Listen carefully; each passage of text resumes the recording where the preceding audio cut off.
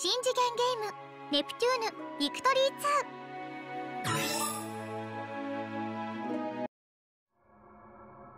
2いつからだろう？この身とこの世界が妄想の渦に飲み込まれてしまったのは。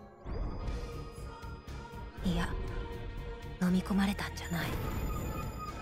俺自身が妄想の渦へとこの身を投げ出したんだ。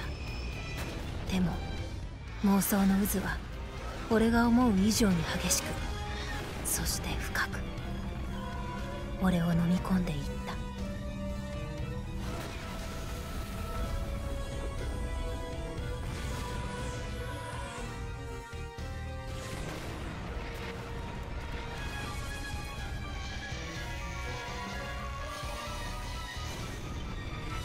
どうすれば俺はこの終わりのない妄想の渦から逃れることができるのだろうか。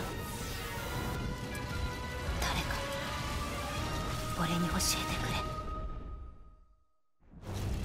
誰でもいい。俺を救ってくれ。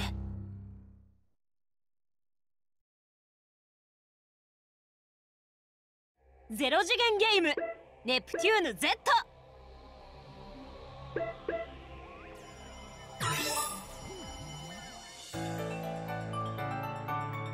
ゲーム業界。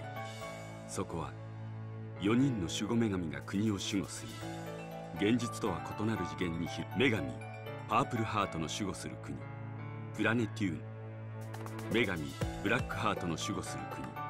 ラステーション女神ホワイトハートの守護する国。ルイ女神グリーンハートの守護する国。リーンボックス。かつては犯罪心や太古の国タリの女神といった脅威にさらされたもの4人の女神たちによりしかし守護女神の転換期を迎えることにより長く続いた4人の女神が守護する時代が今まさに終わろうとしていた。